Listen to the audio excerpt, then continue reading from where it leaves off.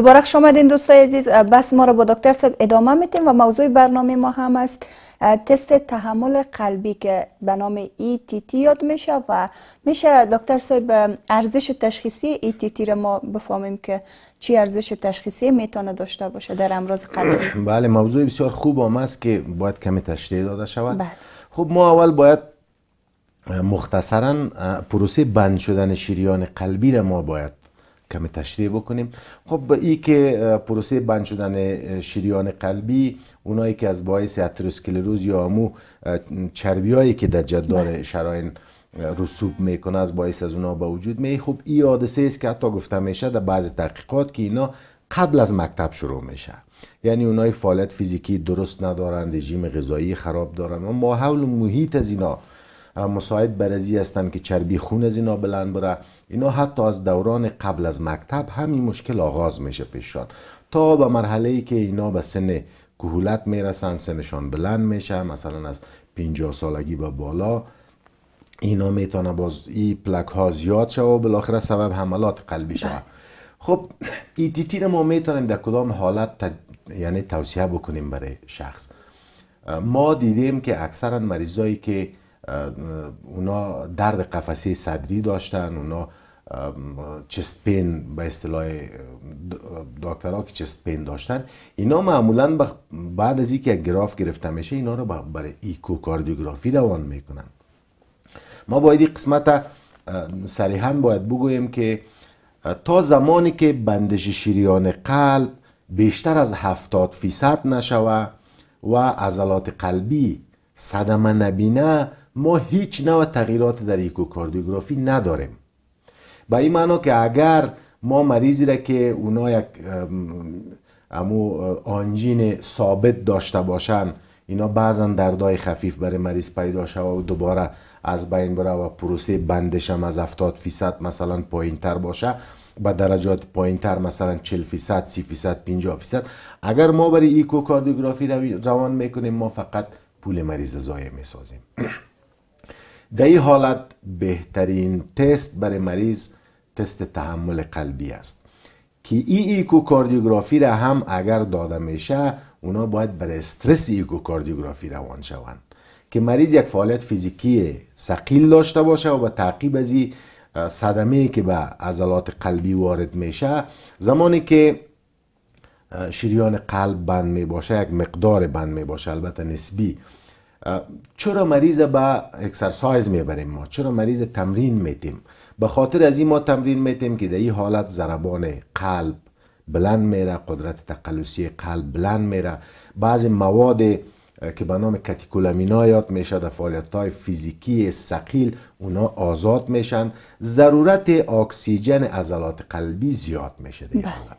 زمانی که ضرورت اکسیژن عضلات قلبی زیاد شد مریض چی میشه؟ برای مریض درد پیدا میشه. زمانی که درد پیدا شد و همچنان همزمان بر از اینا تغییرات در گراف از اینا به وجود میاد.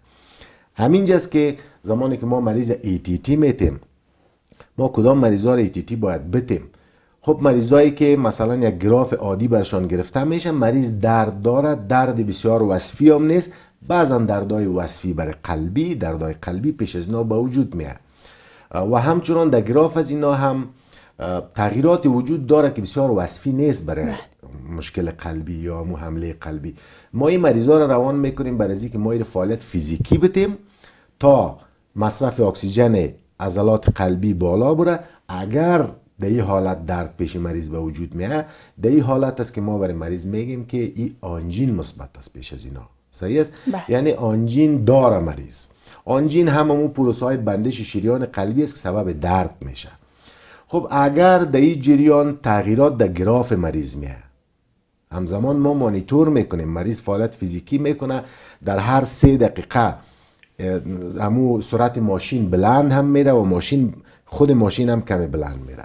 ای یعنی سقیل شده میره برای مریض. در این حالت است که ما اگر پروسه بندش شریان قلبی وجود داشته باشه ما تغییرات گرافیک برای مریض پیدا میشه.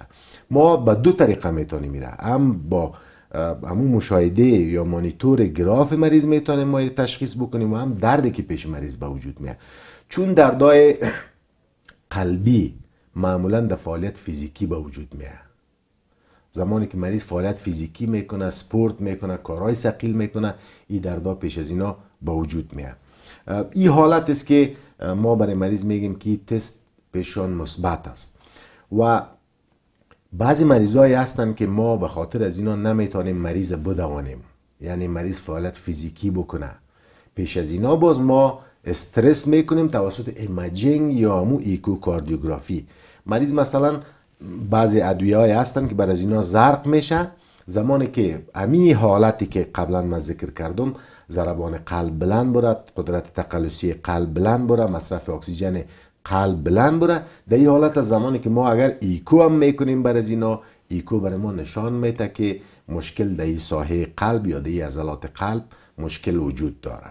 بله. خب متاسفانه ما دیدیم که برای ETT اول قبلا هم گفتم ارزش از این کمی در طبابت افغانستان کمتر شده ولی در جهان هنوز هم به مو ترین تست تشخیصی است.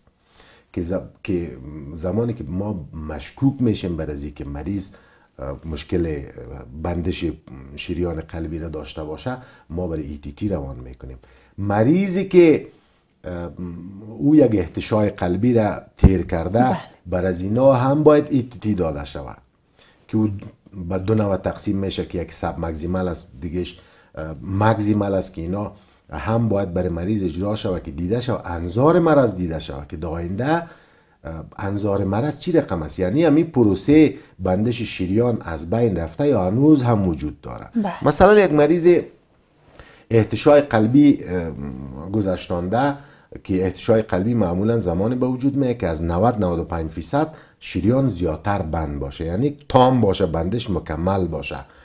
در این حالات مثلا ما دوای برای مریض میتیم که دفعتا باز می‌کنه شریان کور thrombolytic ها میگن.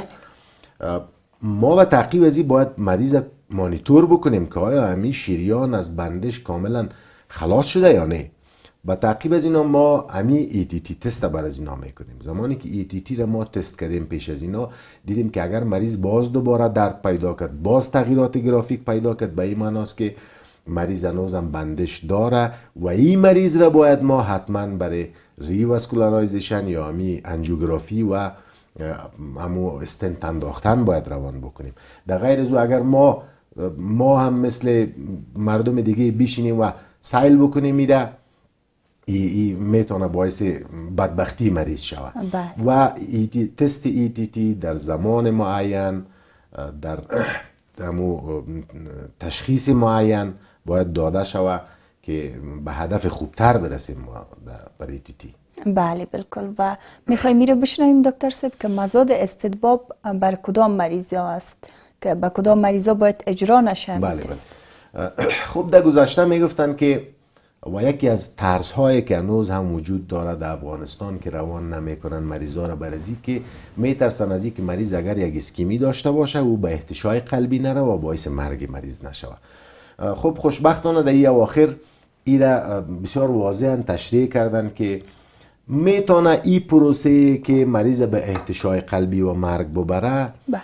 در 2500 مریض یک مریض است یعنی یک فیصدی بسیار کمی که در حدود 0.004 فیصد میشه که این می‌تونه در هر تست وجود داشته باشه بله. به این خاطر است که اول ما می‌خوایم بگوییم که ترس باید نباشه برای ETT و کسی که ETT می‌کنه او اهتمامات از او دارد. من مثلا در او جایی که ETT میشه باید DC shock ماندگی باشه و دواهایی که ضرورت است باید وجود داشته باشه. اینا هست خب کدام مریضا باید نشوند؟ خب مریضایی که معمولا احتشای قلبی را در دو روز گذشته گذشتانده باشن ببینین میگن تا دو روز شما مریض ایتیتی نکنین که اگر مریضی که احتشای قلبی را گذشتاندن. و باز در قسمت احتشای قلبی در قسمت سب مگزیمل بر از اینا میگن که چهار تا هفت روز باید اجرا شود. که از امو احتشای قلبی چهار تا هفت روز گذشته باشه که شما امو سب مگزیمل یا بسیار آهسته حرکت می‌کنه. چیز همی ماشین بسیار آهسته حرکت می‌کنه. شما در چهار تا هفت روز میگه اجرا بکنید تماما واقعات هات که یک یک دانه ذکر شده که اونا معمولا ترم انگلیسی است که شاید برای مردم ما قابل فهم نباشه زیاد. واقعات حاد باید گرفته نشه. مثلا مریض پروسه بندش شریانای ششها را داشته باشه بله. پیش از اینا. گرفته نشه. مریضایی که آنژین ناثابت داشته باشن و کنترل درست نشده باشن. مریضایی که عدم کفای قلبی داشته باشن و اونا کنترل درست نباشه. اونایی که اریتمی ها را داشته باشن یا بینظمی های قلبی را داشته باشن و این کنترل نشده باشه. پیش از اینا نباید ETT شود خب ETT مزاد استدبابشان هم مطلق داره و هم نسبی داره. مطلق از اینا معمولا پروسه های حاد است که یعنی کمتر از 14 روز پیش از اینا اتفاق میفته. در این حالات باید به طرف از این فکر شود. و نسبی از اینا مثلا فشار خون مریض بلند است از 200 از تقریبا 210 بر 110 بالاتر باشه. و در بعضی کتابات 220 بر 115 میگن اینا را. که بلندتر باشه شما باید نگیرین مریض به ایتیتی نبرین چون ممکن باعث اختلاط پیش مریض شود.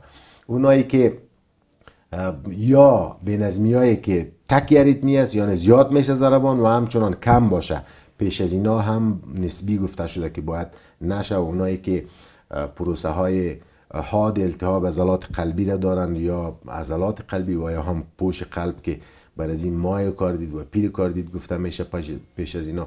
کسایی که aortic dissection داشته باشن یعنی شریان از شریان اورتای از اینا همون پارگی که به وجود میاد در قسمت intima ی سطح داخلی شراین پیش از اینا هم گفته شده که باید ETT اجرا نشوند. این حالاتی است که معمولا اینا می‌تونه که خطرساز باشه برای بله. ولی در تشریعات از اینا برای هر کدام از اینا همو وقت دقیق معلوم شده گفته شده تشریح شده که شما می‌تونین این مریض در این وقت ایتیتی بکنین. و بعضی حالاتی هست که تست مشکوک می‌سازه بله. یعنی تست غلطی زیادتر می داشته باشه. که معمولا مربوط میشه به دکتر صاحبا زمانی که اگر یک مریضی را روان می‌کنن برای تی تی اونا باید از اونا پرسان بکنن که شما کدام دوا را می‌گیرین. مثلا مریضایی که دایجوکسین می‌گیرن معمولا اینا می‌تونه مشکوک بسازه تست مشکوک بسازه. و چون تغییرات در گراف به وجود میاد پیش مریضایی که دایجوکسین می‌گیره که او می‌تونه معادل مثبت بودن ایتیتی باشه. و همچنان کسایی که بیتا بلاکر می‌گیرن دوای بیتا بلاکر مثل میتوپرولول و نبیولول اینا می‌گیرن ای هم گفته شده که باید قبلا قطع شود. یک تا دو هفته باید قطع شود که اثرات از اینا از بین بره. چون زمانی که مریض دوش می‌کنه اون رسپانس را که در جریان فعالیت فیزیکی قلب باید داشته باشه او را سپرس می‌سازه. ای بله. یعنی انحطاط میته. ما نمی‌تونیم که ضربان قلب مریض به او حد تارگتش برسانیم. به این خاطر است که می‌تونه باعث اختلاط شود پیش مریض و همچنان تست را مشکوک بسازه و امو صحت تست برای ما خرابتر بسازه. بله تشکر دکتر سید دوست عزیز یک وقفه بسیار کوتاه می‌گیریم. بعد از وقفه دوباره زود برمیگردیم.